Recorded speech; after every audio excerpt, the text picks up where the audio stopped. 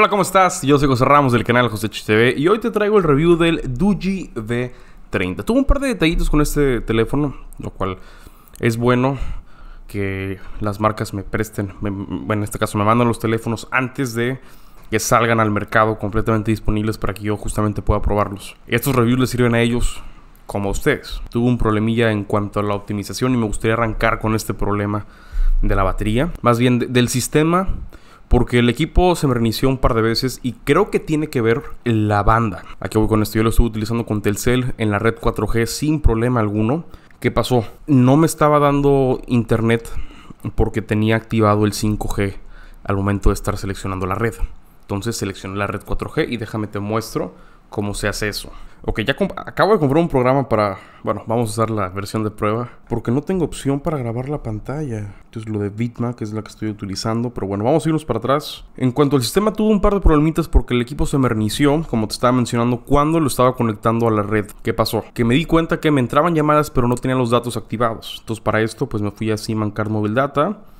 Y en el Mobile Network en Advanced, aquí mismo, en, Preferred Network Type. Lo tenía estaba en 5G, no me estaba agarrando. Lo puse en 4G para que me agarraran los datos. ¿Ok? Ahí ya me agarraron. Entonces, eh, desde entonces tuve el problema. Se me reinició dos veces automáticamente. Al igual que eh, una vez sin querer lo reinicié. Entonces, al, estar, al que se me reiniciara y que yo lo reiniciara, hizo que no pudiera tener un registro completo de la duración de batería. La batería de los 10.000 mAh sí funcionan, sí están presentes ahí. Si es un equipo que te puede estar dando 10 horas de pantalla, 36 horas de uso sin problema alguno, pero ahora sí que no tuve tiempo de tomar la captura de pantalla y no me puedo regresar porque tengo que seguir con otros productos y también llevo todo el año trabajando, quiero tomar unos días de descanso y aquí justamente en batería ni siquiera puedo ver el uso de la batería.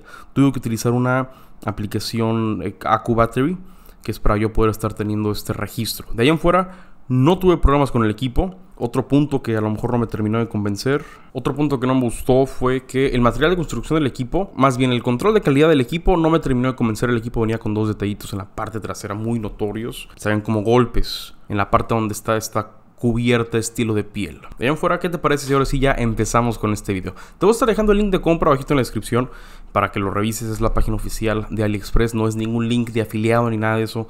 Francamente no soy muy fan de utilizar esos links. Te estoy dejando ese link aquí abajito para que lo revises.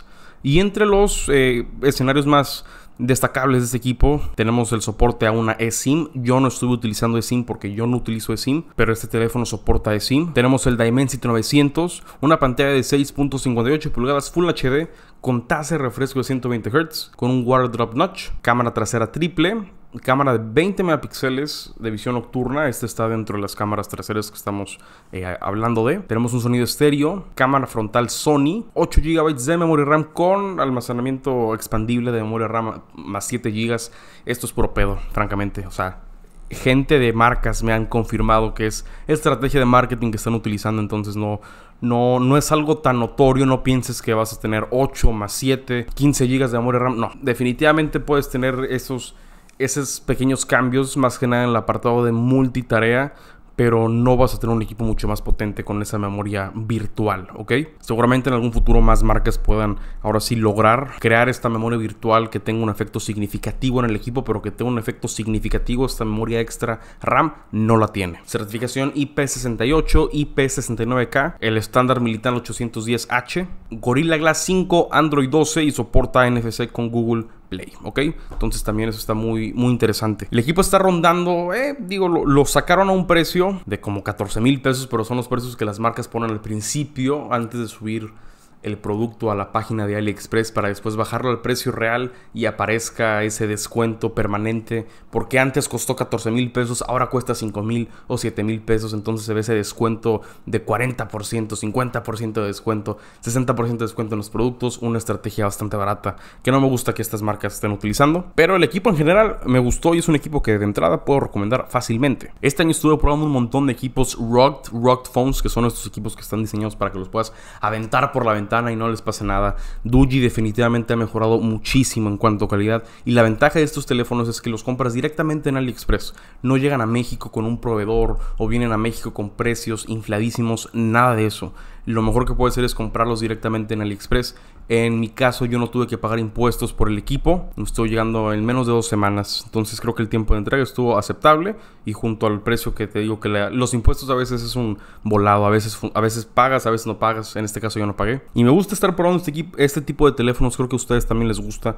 Me empapo con, con más experiencia para poder ser mucho mejor al momento de estar analizando y recomendando estos dispositivos. Por el precio me gustó. Tienen sus detalles como cualquier otro teléfono y creo que le urge una checada al software. Entonces hago un llamado a Duji para que revise ese apartado porque esos reinicios, oye, te voy a ser honesto, te voy a ser muy honesto. Tuve una emergencia familiar y el equipo se reinició justamente cuando estaban internando a un familiar. O sea, en el peor momento se te reinicia el pinche teléfono. Y, eso está de la fregada, porque se te puede reiniciar mientras estás en el baño, se te puede reiniciar en emergencias como estas. Por eso es importante que los teléfonos estén al mero pedo, porque el cliente tiene que estar seguro por lo que está pagando. Tienen que trabajar muchísimo en el control de calidad internamente como físicamente. Antes de seguir con este video, tenemos que agradecer a nuestro patrocinador Leti Shops, que hace que estos videos sean posibles. Te invito a que te quedes a ver el anuncio, porque si compras, de hecho, justamente en AliExpress, esta extensión te puede servir muchísimo. Para mí la Navidad es de los mejores momentos del año. Y no solamente porque te puedes comprar ese capricho que siempre has tenido ganas, o porque estés recibiendo regalitos de alguien más, sino porque también es tiempo de estar en familia, comer sin culpa ajena. Pero hablando de regalos hay algo muy importante. Si eres una persona que constantemente está comprando en Amazon esta Navidad y Año Nuevo, Letty Shops te respalda. Vas a poder aprovechar descuentos increíbles con el servicio de cashback que están promocionando. En cualquier compra, algún videojuego, alguna figura de acción, ropa, ropa interior, lo que sea.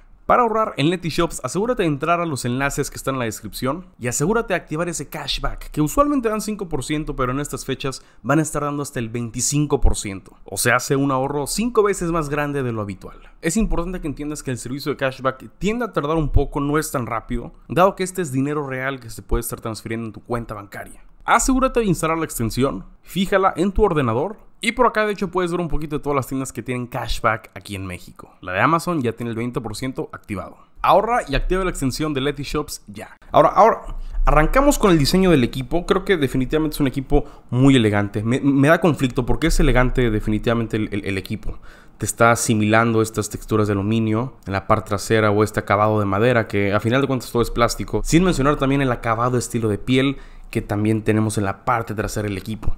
No es piel, obviamente. Y aquí la cosa es, si quieres un equipo a prueba de golpes, a prueba de caídas, a mí me da conflicto eso. ¿Por qué le están añadiendo textura? Le están añadiendo un cuerpo que, que no definitivamente no va a resistir lo suficiente a un abajazo, a una caída. Porque digo, definitivamente esto al no ser piel es un eh, no sé si esto es a lo mejor eh, cuero sintético, hace que sea mucho más resistente, pero yo creo que las personas que buscan este tipo de equipos están buscando algo más que nada directamente de plástico en la parte trasera, que sea capaz de poder aguantar caídas y que sea capaz de limpiar fácilmente. Este mismo diseño no se ensucia fácilmente, pero estoy seguro que se puede dañar más fácil que el otro cuerpo, que el, que el cuerpo del equipo. Entonces, creo que está bien la propuesta, le da definitivamente al usuario la posibilidad de tener algo más elegante. Y hay gente que diga, ¿sabes qué? Solamente quiero algo resistente, no estoy necesariamente con sustancias o estoy realizando constantemente trabajo que requiera un producto que tenga que estarlo cuidando todo el tiempo. Adelante. Pero yo sé que hay personas que están trabajando constantemente en construcción por ejemplo, y que la parte trasera se puede estar dañando fácilmente. Entonces, se ve muy bonito, pero me causa conflicto la combinación de diseño que estuvieron manejando por acá. El equipo como tal no es tan pesado, de hecho yo pensé que iba a ser más pesado, está rondando los 380 gramos de peso, se puede manipular muy fácilmente con una sola mano, está ligeramente pesado, considerablemente más pesado de lo que estamos acostumbrados a ver definitivamente. Tenemos cuatro botones, el botón de desbloqueo dactilar que funciona muy bien en todo momento funcionó, botones de volumen en la parte derecha junto con el desbloqueo dactilar, al igual que un botón completamente personalizable que te estaré mostrando más adelante. El acabado que tenemos por los lados pues es, como te mencioné, acabado de madera, pero es completamente de plástico y sí estuvo aguantando buenos golpes. Ahora, cuando vamos a la parte frontal donde tenemos estos altavoces que la calidad, la marca dice que es high res audio, yo no sé de dónde sacaron esa información, porque solamente se escucha fuerte y la calidad de audio está súper, súper básica, pero está fuerte, que es lo que importa, y me gustó mucho el posicionamiento, ¿por qué? Equipos que son pesados como estos, que a veces te cansas de cargarlo con una sola mano y utilizas dos, llegas a tapar la bocina que está usualmente en la parte trasera. En este caso no la tenemos por abajo en el puerto de carga, la tenemos enfrente, entonces muy bien ahí, muy bien de verdad. Creo que es algo que más marcas tienen que estar haciendo con, con estos modelos de equipos a prueba de todo. La pantalla del equipo está bien al igual que la tasa de refresco. Tenemos un panel IPS de 6.58 pulgadas con hasta 120 Hz. El sistema nos da la opción de poder escoger ya sea 60 Hz si queremos ahorrar más batería. Que bueno, con 10.000 mAh vas a tener batería de sobra, pero si llegas a querer ahorrar batería, bajas esos 120 a 60 o los puedes dejar en automático. O incluso si quieres a lo mejor ni 60 ni 120 lo puedes poner en 90 Hz. Entonces, bien pensado, bien pensado definitivamente este tipo de selecciones son gracias al procesador MediaTek que tenemos por acá. Entonces, Qué gusto, qué gusto que estén ya utilizando chipsets más nuevos. Ahora, este equipo no te voy a estar platicando el apartado de gaming porque yo sé que no es un equipo que las personas necesariamente buscan para juego, pero con este procesador y esta tasa de refresco junto con la batería y el altavoz frontal, no es una mala opción también tenerlo para jugar de vez en cuando. Juegos como COD Mobile, Free Fire o PUBG no vas a tener problemas. Algo más pesado, Genshin Impact o Apex definitivamente sí vas a tener que pensarlo dos veces por ahí. El equipo en todo momento, fuera de que se me estuvo reiniciando, se comportó bastante fluido. Una muy buena multitarea, buenas transiciones. Eh, tuve este problema a veces con un pequeño desfase de audio a veces, de, de, vez en cuando sucedía esto, pero de ahí en fuera nunca sentí que el equipo fuera lento. Estos equipos usualmente se caracterizaban por ser equipos lentos al momento de estar escribiendo rápidamente porque estabas cargando con un ladrillo. En este momento el equipo es muy fluido lo puedo estar utilizando sin problema alguno, entonces bien por ahí. Al momento de estar utilizando todas las funciones que nos da el equipo, estar jugando con la cámara, el equipo nunca se trabó, la fotografía también, ahorita vamos a hablar de eso. Y también me gustaría platicarte un poquito de la capa de personalización. Creo que aquí hicieron un buen cambio, se siente fresco estos equipos luego tienen la costumbre de, ser aburridos, de ser planos. En este caso ya le estuvieron agregando un, pequeño de, de, personalización. Mira, te presento un poquito el panel de notificación. Aquí lo vamos a poder estar personalizando. De igual forma por acá podemos estar viendo las notificaciones, así es como se está viendo. Ahora, hablemos un poquito del launcher. Launcher que ya conocemos por parte de, de Duji, nada de otro mundo. Vamos a irnos aquí a los ajustes. Así es como se están viendo los ajustes. Aquí tenemos el manejo de la eSIM, notificaciones. Todo lo vamos a poder estar controlando por acá. Display. Yo aquí tengo el, el modo oscuro como puedes ver. Ahora también aquí el, la tasa de refresco la tengo en 120 Hz. Hay que aprovechar lo que tenemos. Batería, te digo que no podemos estar viendo muy bien el uso de la batería. Estoy utilizando una aplicación de terceros, lo cual no me gusta mucho. Me gusta mucho más utilizar siempre del mismo sistema. Accesibilidad, desbloqueo dactilar, al igual que muy importante. Tenemos esta opción de Dura Speed eh, ¿Qué pasa? Que hay veces que en algún momento se te puede estar bloqueando alguna aplicación que esté corriendo en segundo plano, aunque le estés especificando que no se bloquee.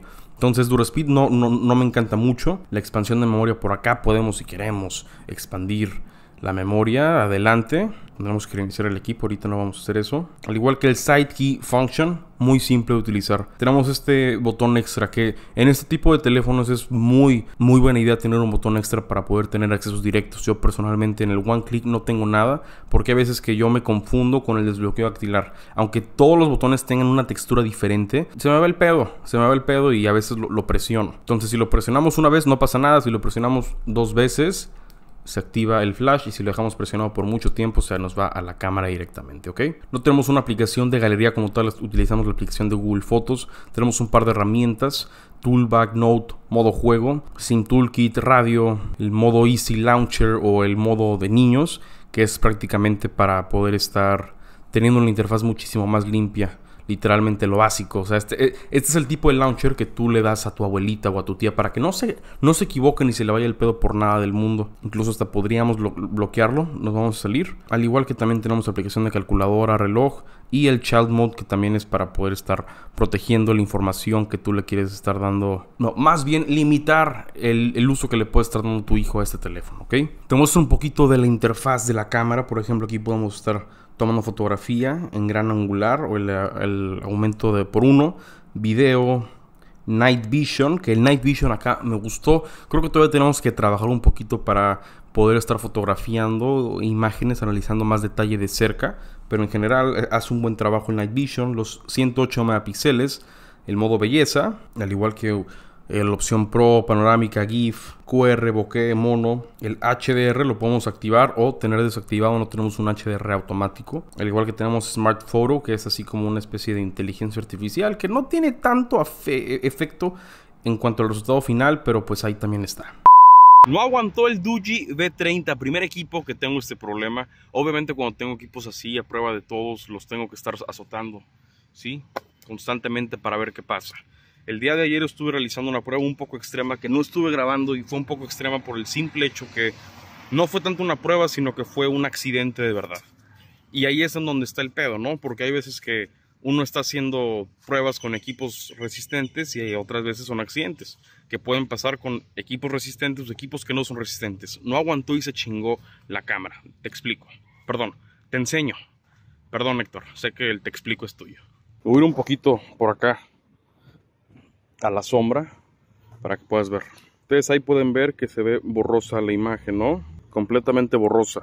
Si me voy al gran angular, la imagen se arregla porque la cámara de gran angular porque la cámara de gran angular sí funciona bien sin problema alguno sí funciona bien la cámara de gran angular ahí tengo una foto pero cuando pasamos a la fotografía principal ahí te la foto no funciona ¿qué está pasando? que no está enfocando bien porque si yo me acerco sin problema me lo enfoca pero si me alejo se desenfoca por completo aquí está el problema se dañó el, enfoque de la cámara el night vision también eh, todavía funciona entonces, como no está funcionando de manera correcta, se me hace justo saltarnos el apartado de fotografía en este teléfono, en este review. Entonces, sí estuve haciendo una prueba un poco excesiva, te enseño los daños. Por acá puedes ver los golpes. Incluso este golpe no, me pareció muy, muy realista porque hasta se está levantando, el, el mismo plástico se está levantando.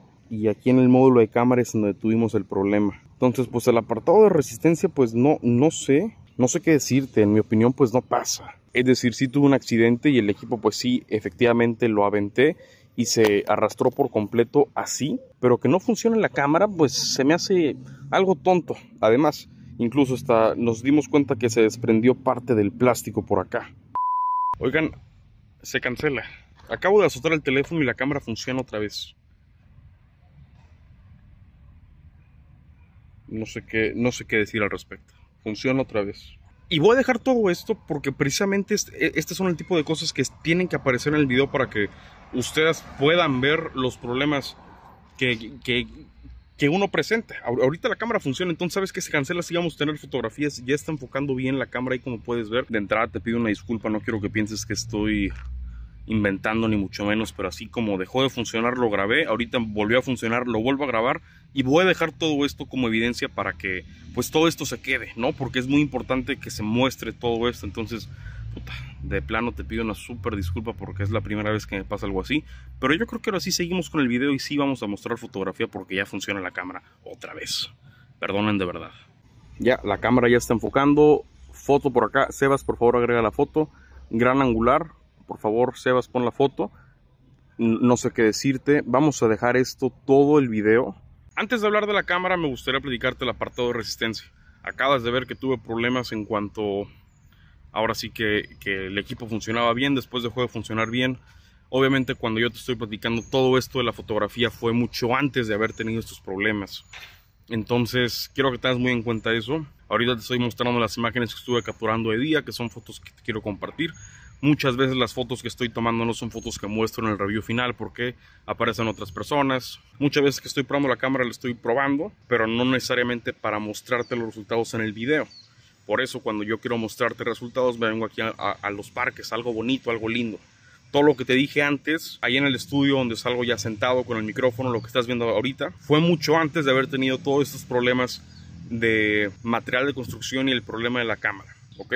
Te comparto los resultados de las fotos que estuve tomando ahorita después de tener estos problemas, pero ten en cuenta que el material de construcción a mí de plano no me pareció. Antes de pasar a la fotografía, te muestro un poquito de cómo quedó el equipo dañado. Definitivamente estas pruebas en el concreto fueron pruebas muy duras para el teléfono, son resultados que no había visto anteriormente en otros equipos. Creo que aquí no fue necesariamente un material muy premium para la resistencia del equipo, pero por el precio supongo que está entendible. Cuando hablamos de la cámara, en general el equipo tiene un buen desempeño. La cámara trasera principal no me sorprendió tanto como la cámara de visión nocturna o la cámara frontal, que considero bastante buena dada la situación. La cámara en todo momento se comportó fluida. Poder estar cambiando entre los diferentes modos que el equipo te permite, los estuve realizando sin problema alguno. La cámara de 20 megapíxeles es una Sony Night Vision y lente principal de 108 megapíxeles es un lente Samsung, junto a una cámara de 16 megapíxeles de gran angular y macro. El gran angular y macro no hicieron un buen trabajo, la verdad. Algo completamente entendible por este tipo de, de rango de equipo. A final de cuentas es un gama media. Es un gama media y no podemos esperar una fotografía así fantástica. Tenemos un detalle aceptable, tenemos una buena reproducción de color, un poco desnutrida, un poco pálida, pero tenemos ahora sí que colores muy naturales, un manejo de contraste y saturación bastante bajo para poder estar teniendo a lo mejor unas fotografías un poco planas con un rango dinámico un poco pobre, pero hey, recordemos, estamos hablando de, de 5 mil pesos un equipo. En general la fotografía la considero aceptable por el precio. Algunos puntos negativos, como te mencioné, tuve este reinicio que de la nada pasaba, sin problema, eso yo creo que se puede estar solucionando y yo creo que tiene que ver porque los problemas los estuve encontrando después de que me di cuenta que no estaba teniendo datos, porque al principio estuve utilizando ese teléfono solamente con Wi-Fi, después de lo cargué como equipo principal y al salir de la casa, puta, pues me di cuenta que no estaban entrando mensajes, no estaba entrando nada. Yo dije, ah, qué raro. Nadie me ha escrito como en dos horas. Qué bien.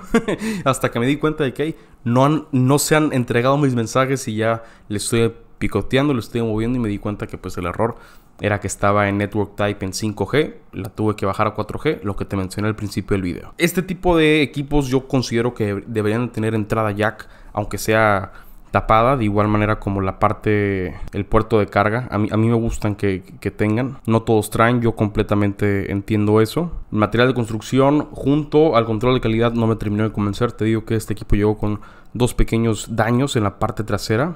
Y esos daños los puedes ver desde que hago el unboxing, que también está en, mi, en mi Tok Desfase de audio a veces con el video. Incluso a veces en, TikTok, por ejemplo, se, se, bloqueaba el TikTok, pero se seguía reproduciendo el audio. Entonces ahí hay pequeñas cosillas de optimización que se tienen que estar haciendo. En general creo que es un muy buen equipo, excelente. El diseño definitivamente le va a traer le va a llamar la atención a muchas personas, al igual que creo que tenemos un procesador bastante capaz. El Dimensity 900 es una, es una chulada. En cuanto a velocidad de carga, también recuerdo que tenemos 66 watts. Que no estoy muy seguro cómo esté funcionando esto también. Creo que también esto tiene que ver con los problemas del sistema que te digo. Cuando lo conecté, me di cuenta que se estaba cargando, pero no decía la leyenda de Super Fast Charging. Después apareció la leyenda, después dejó de aparecer y después volvió a aparecer. Entonces, yo no sé si es el sistema, mismo sistema tratando de regular la velocidad de carga para que el equipo no se dañe. Si tuve esa carga rápida, definitivamente. Oye, 10.500 mAh que se cargaron en menos de una hora me parece genial. Por lo tanto, si estás buscando un equipo que tenga una buena cámara nocturna, tenga buenas especificaciones por el precio, a mí me estuvo funcionando bastante bien. El problema de software, algo que seguramente se puede estar arreglando fácilmente. Yo soy de las primeras personas que estoy probando este teléfono, entonces a lo mejor cuando tú compraste este teléfono te diste cuenta que tú no tuviste estos problemas. Yo de todas maneras tengo que hacer mi trabajo y tengo que decir los detalles que encontré en cuanto al software esos reinicios se tienen que cuidar, se tienen que arreglar pronto. Y sin nada más que decir, espero que te haya gustado este video. De verdad, me gustan mucho estos teléfonos. Y aquí vamos, poco a poco mejorando para ustedes. Link de compra aquí abajito en la descripción. Duji V30. Sí, sí me gustó, sí me gustó. Muy, muy buen equipo, muy buen equipo. Y no es tan pesado. No es tan pesado a pesar de la batería que tiene por acá. Te veo en la siguiente. Que tengas un excelente día. Bye bye.